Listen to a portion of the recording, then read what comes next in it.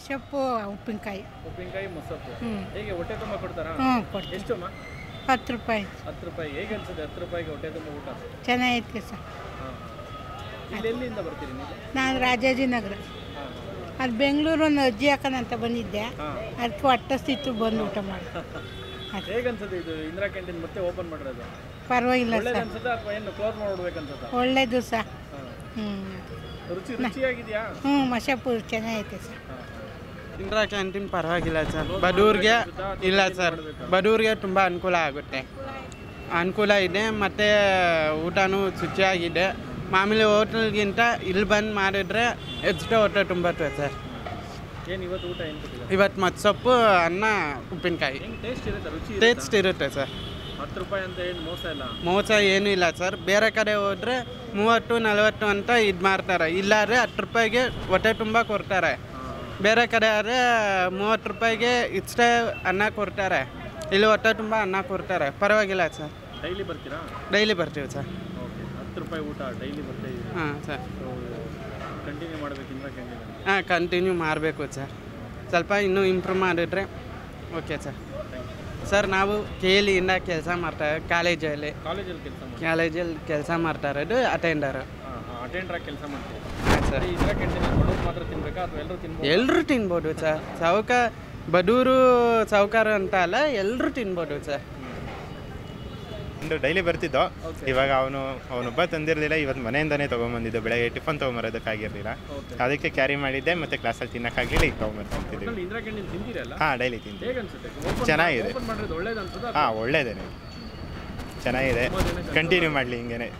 ಹಾಂ ಅಷ್ಟು. ಚೆನ್ನಾಗಿದೆ. ಒಳ್ಳೇದು ಈ ಥರ ಎಲ್ಲ ಮಾಡಿದ್ರೆ. ಎಲ್ಲರಿಗೂ ಬಡವರಿಗೆಲ್ಲ ಸ್ವಲ್ಪ ಅನುಕೂಲ ಆಗುತ್ತೆ. ಮತ್ತು ಈಗ ಎಲ್ಲ ಆಫೀಸ್ ಕೆಲಸಕ್ಕೆ ಹೋಗೋರಿಗೆ ಮತ್ತು ಆಸ್ಪತ್ರೆಯಿಂದ ಬರೋರಿಗೆ ಎಲ್ಲರಿಗೂ ಅನುಕೂಲ ಆಗುತ್ತೆ.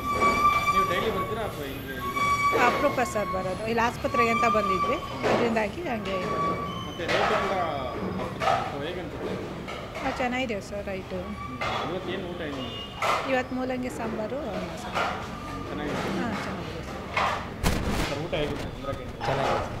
ಡೈಲಿ ಬರ್ತೀರಾ? ಹಾಂ ಡೈಲಿ ಬರ್ತೀರಾ ಎಲ್ಲಿ ಕೆಲಸ ಮಾಡ್ತಾ ಇದ್ದೀರಾ? ಇಲ್ಲಿ ನರ್ಚರ್ ಹಾಸ್ಪಿಟ್ಲ್ ಹಾಂ ಹಾಂ. ಹಾಗಾದ್ರೆ ನಿಮ್ಗೆ ಇದ್ರ ಬಗ್ಗೆ ಫುಲ್ ಫುಲ್ ಡೀಟೇಲ್ ಗೊತ್ತಿರುತ್ತೆ ಇಂದಿರಾ ಬಗ್ಗೆ. ಸ್ವಲ್ಪ ದಿನ ಸ್ಟಾಪ್ ಕೂಡ ಮಾಡಿದ್ರು. ಮತ್ತೆ ಕಂಟಿನ್ಯೂ ಮಾಡ್ಬೇಕಂತ ಅನ್ಸುತ್ತಾ ಅಥವಾ ಹೇಗೆ ಸ್ಟಾಪ್ ಮಾಡ್ಬೇಕಾ ಇಲ್ಲ ಕಂಟಿನ್ಯೂ ಮಾಡಿದ್ರೆ ಒಳ್ಳೆಯದು ಹತ್ತು ರೂಪಾಯಿಗೆ ಯಾರು ಕೊಡ್ತಾರೆ ಊಟ? ಅಲ್ವಾ?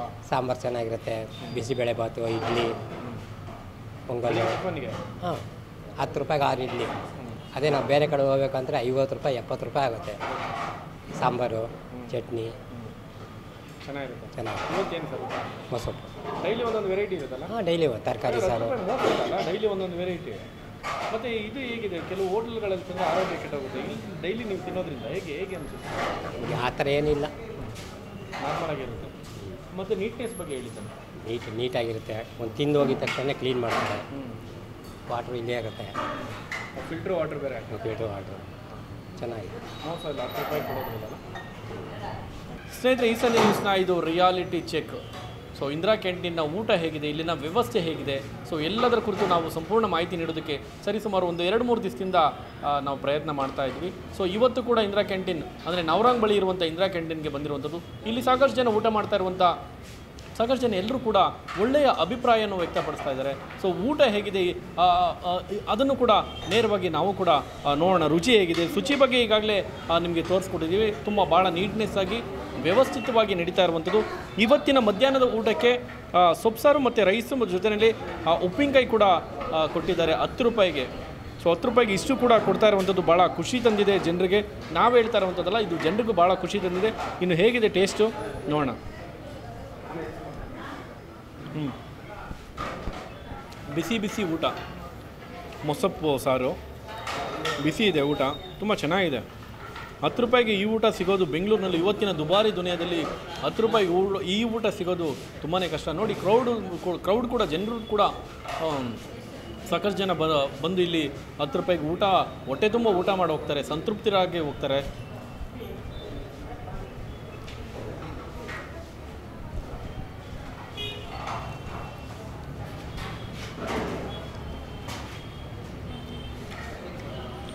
ಇಲ್ಲ, ಚೆನ್ನಾಗಿದೆ. ಸೀರಿಯಸ್ಲಿ ಹೇಳಬೇಕಂದ್ರೆ ತುಂಬ ನೀಟಾಗಿದೆ.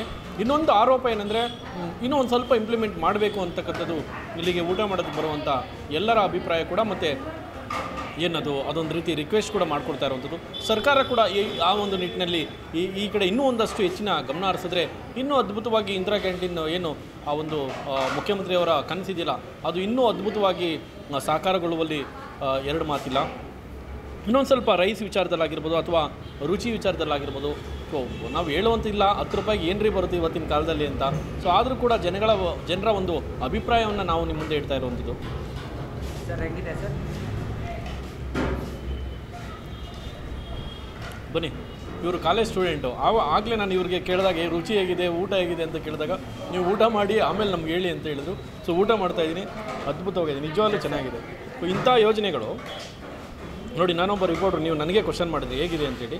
ನಿಜವಾಗ್ಲೂ ಚೆನ್ನಾಗಿದೆ. ಇಂಥ ಯೋಜನೆಗಳು ಜನರ ಮುಟ್ಟಬೇಕು ಯಾಕಂದರೆ ದುಡ್ಡು ತೊಗೊಳೋದಕ್ಕೆ ಜನ ಬಡವರಿಗೆ ಊಟ ತಗೊಳ್ಳೋದಕ್ಕೆ ನನ್ನ ಹತ್ರ ಕೂಡ ಅದು ರೂಪಾಯಿ ಇಲ್ಲ. ಇವತ್ತು ನೋಡಿ ನನ್ನ ಹತ್ರ ಇಂಥ ಸ್ಥಿತಿನಲ್ಲಿ ಸಾಕಷ್ಟು ಜನ ಇರ್ತೀವಿ. ನಮ್ಮ ನಮ್ಮ ಪರಿಸ್ಥಿತಿಗಳು ನಮ್ಗೆ ಗೊತ್ತಾಗೋದಿಲ್ಲ. ಅಂಥದ್ರಲ್ಲಿ ಬೇರೆಯವ್ರ ಸ್ಥಿತಿಗಳು ಹೇಗಿರ್ಬೇಡ. ಇವತ್ತು ಹತ್ತು ರೂಪಾಯಿಗೆ ಈ ಇಷ್ಟು ಅಂದರೆ ಹೊಟ್ಟೆ ತುಂಬ ಊಟ ಕೊಡ್ತಾರೆ ಅಂದರೆ ಅದು ಸಾಮಾನ್ಯ ಸಂಗತಿ ಅಲ್ಲ. ಸೊ ಈ ಹಿಂದೆ ಕೂಡ ಅಂದರೆ ಬಿ ಜೆ ಪಿ ಮತ್ತು ಕಾಂಗ್ರೆಸ್ಸು ಇನ್ನೂ ಹಲವಾರು ಸಿದ್ಧಾಂತಗಳ ಸಂಘರ್ಷಕ್ಕೊಳಗಾಗಿ ಸ್ಟಾಪ್ ಮಾಡಿದರು. ಮತ್ತು ಸಿದ್ದರಾಮಯ್ಯನವ್ರು ಬಂದರು, ಇದು ಶುರು ಮಾಡಿದರೆ ಎಲ್ಲರೂ ಹೊಟ್ಟೆ ತುಂಬ್ತಾ ಇದೆ ಅಂತ ಹೇಳಿದ್ರೆ ತಪ್ಪಾಗಲಿಕ್ಕಿಲ್ಲ. ನಿಮ್ಗೇನು ಅನಿಸುತ್ತೆ? ಸರ್, ಇದೇ ರೈಸು, ಇದೇ ಸಾಂಬಾರು. ನೀವು ಔಟ್ಸೈಡ್ ತಿಂದರೆ ಫಿಫ್ಟಿಯಿಂದ ಸಿಕ್ಸ್ಟಿ ಚಾರ್ಜ್ ಮಾಡ್ತಾರೆ. ಎಲ್ಲ ಹೋಟ್ಲಲ್ಲೂ ಅಷ್ಟೇ. ಫಾರ್ಟಿ ಫಿಫ್ಟಿ ಸಿಕ್ಸ್ಟಿ ಅನ್ನ ಸಾಂಬಾರು. ಇಲ್ಲಿ, ಹತ್ತು ರೂಪಾಯಿ. ಹತ್ತು ರೂಪಾಯಿ, ಅದೇ ಕ್ವಾಂಟಿಟಿ ಅದೇ ಕ್ವಾಲಿಟಿ ಏನು ಡಿಫ್ರೆನ್ಸ್ ಇಲ್ಲ.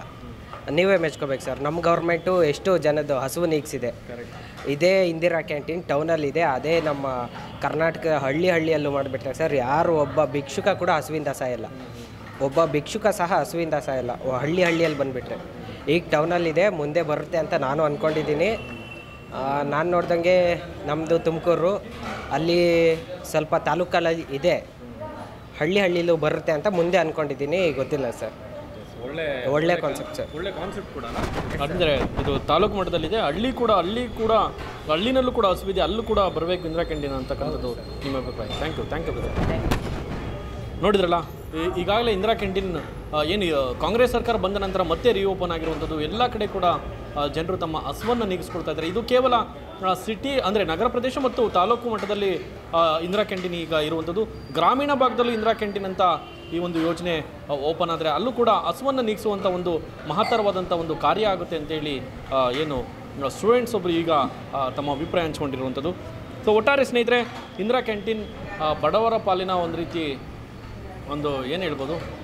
ಒಳ್ಳೆಯ ಅದ್ಭುತ ಹೋಟೆಲ್ ಅಂತ ಹೇಳಿದ್ರೆ ಬಹುಶಃ ತಪ್ಪಾಗಿಲ್ಲ ಕೇವಲ ಬಡವರು ಮಾತ್ರ ಅಲ್ಲ, ಇಂದಿರಾ ಕ್ಯಾಂಟೀನ್ಗೆ ಸಾಕಷ್ಟು ದುಡ್ಡಿರೋರು ಕೂಡ ಇಲ್ಲಿ ಬಂದು ಊಟ ಮಾಡ್ತಾರೆ. ಯಾಕಂದರೆ ಅಷ್ಟೇ ರುಚಿ ಮತ್ತು ಆರೋಗ್ಯಕರವಾಗಿರುವಂಥದ್ದು. ಸೊ ಇಂದಿರಾ ಕ್ಯಾಂಟೀನ್ ಯಾವುದೇ ಕಾರಣಕ್ಕೂ ಮುಚ್ಚಬಾರ್ದು ಅಂತಕ್ಕಂಥ ಬೇಡಿಕೆ ಇಲ್ಲಿ ಬರ್ತಕ್ಕಂಥ ಪ್ರತಿಯೊಬ್ಬರದ್ದು ಆಗಿದೆ. ಸೊ ಇದು ಇವತ್ತಿನ, ಈ ಸಂಜೆ ನ್ಯೂಸ್ನ ರಿಯಾಲಿಟಿ ಚೆಕ್ ಆಗಿತ್ತು. ಧನ್ಯವಾದಗಳು.